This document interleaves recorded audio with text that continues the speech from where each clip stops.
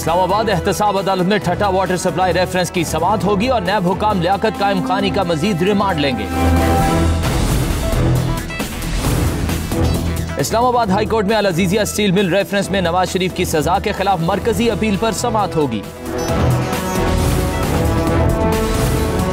سابق وزیر اعلیٰ کے پی اکرم خان دورانی کی نیب راول پنڈی میں صبح دس بجے پیشی ہوگی۔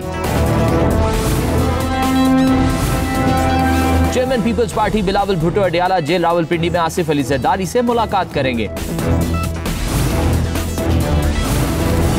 لاہور میں صبح دس بجے صوبائی وزیر اطلاعات میاں اسلم اقبال کھلی کچہری لگائیں گے۔ ایشین ڈیولپمنٹ بینک کا وقت بارہ بجے لاہور چیمبر کا دورہ کرے گا۔